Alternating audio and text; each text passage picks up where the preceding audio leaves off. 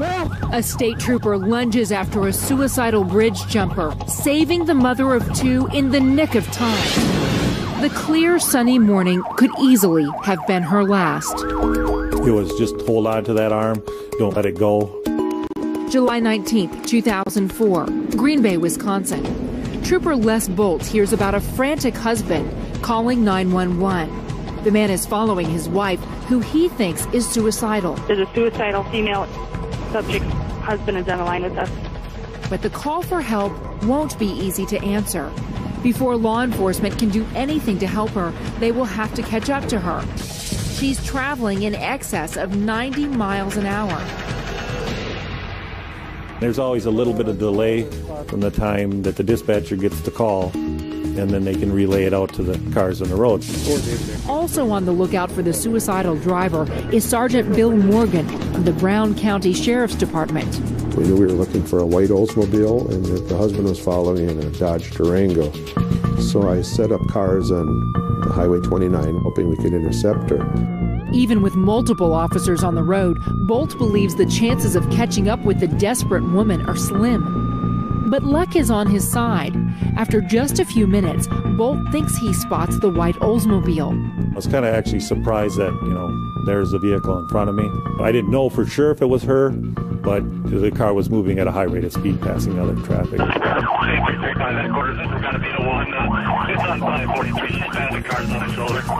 Trooper Boldt flicks on his lights and chases after the driver, whose speed reaches 120 miles per hour.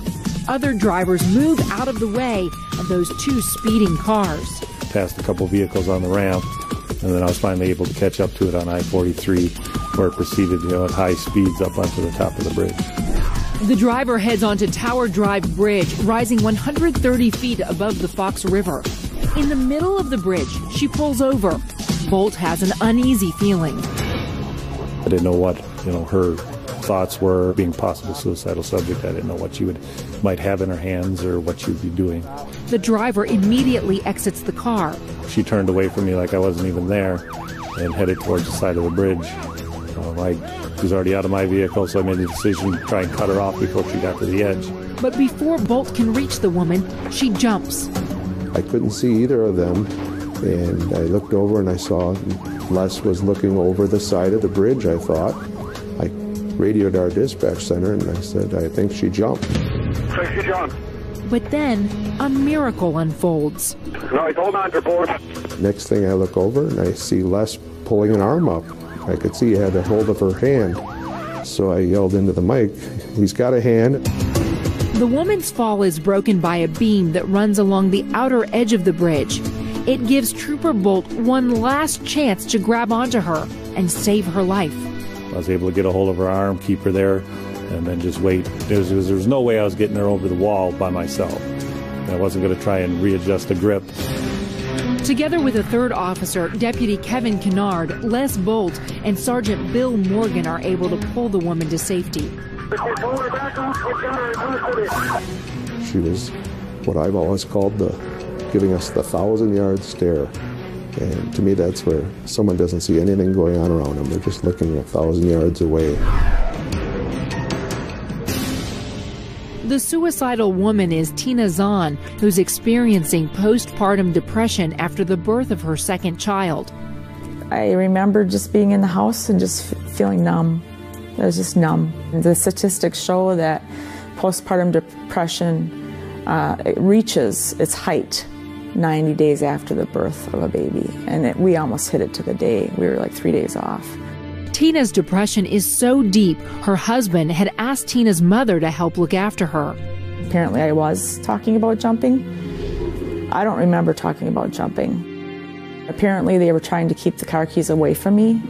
According to Tina, on that July morning, her mother lost patience with her for not being able to get over her depression. It was too much for Tina to handle. I snapped and I lost all hope. And I saw the car keys laying over by the refrigerator on the counter. I grabbed them, I ran out the door. But before Tina drives away, her six year old daughter pleads with her. Um, she came out of the house and she saw me in the car and she's banging on my window. And she's banging on there saying, Mommy, Mommy, take me with you, take me with you. And I, I, still, I backed out. I just took the car and I just went as fast as I could. Her mother alerts Tina's husband his distraught wife has taken off in the car. Tina's determined to drive to the bridge, get out, and jump. She says she can't recall much of that harrowing journey. The next memory I have is being on Highway 29 coming into Green Bay. And I see my husband, and he's uh, coming at me. And I, I do see him go through the grassy median. Tina is so filled with despair, she keeps driving, despite the lights and sirens, completely focused on getting to the bridge. I remember pulling up and pulling over to the side of the bridge, and that's it. The efforts of Green Bay law enforcement stopped Tina from taking her own life. God reached out of the heavens and kind of said, It's not your time yet. Sorry. if Trooper Boldt had been one step slower, Tina says her life would have been over. His whole body is over, and he just is hanging out with one leg by the barrier, and the other leg goes up in the air. So, you know, microseconds. The call was very, very close. I mean, split second anywhere, and uh, she would have, you know, succeeded in what she was trying to do. Tina has written a book called Why I Jumped to help others struggling with depression, and she speaks publicly about her ordeal. I wasn't even thinking of my children. I, I just was thinking there's no hope. What began on a desperate morning has grown into a supportive friendship for Tina and the officers at the bridge.